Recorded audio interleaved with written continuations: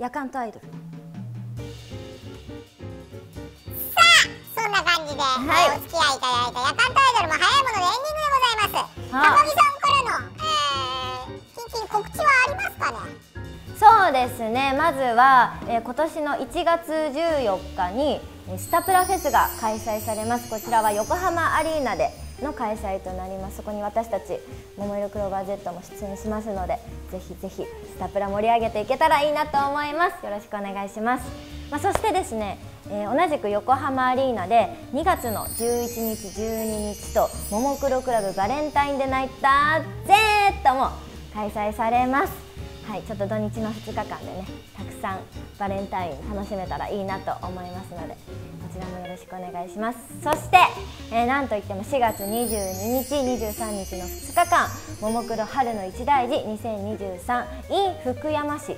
会場はですね広島県の福山市にある竹川花運動公園での開催となります。あの本当にちょっと画像でしか今のところ見れてないんですけどすごく素敵な場所で自然もたっぷりある場所なので皆さん足を運んでいただけたらいいなと思います。よろしくお願いします。ますね。はい。私も。うん。頭からスタプラフェスなんかはあれです。かもうキンキンですから。いろいろな内容も決まってきて。ここでこれやるんだみたいなの。え？ー、ありますかえ？みたいなもうちょっとだけヒント何ちょうだいよ。横ありでこれやるの？みたいな。横ありでこれ？新しい推しメを見つけるなりね。ね。推し増しするのか、はい、でバレー部もあって春の一大事もあるということでということですね、はい、ありがとうございます。最後にね、はい、ちょっと夜間からお正月なんですけれども、はい、えー、プレゼントがありましてはい。毎回毎回。今日は心が整うほうじ茶でございます。ほうジャスミン茶も配合されてますよ。おお心が整う女子力高いですからこんな感じああなるほどね。女子力高い私が。ああなたもそうですよ。ありがとうございます。女子力の高い聞いたことがないけど。聞いたことがないけど。すすごくでもいい香り。いただきます。はい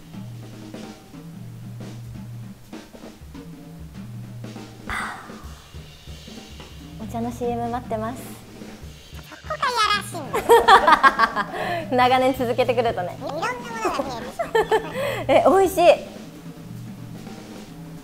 やっぱりね冬は温かいお茶が温まりますけど私の声で皆さんの心も温まりますように。夜間とアイドルでした。閉めちゃった今年もよろしくお願いします。今年もよろしくお願いします。夜間とアイドルだぴょん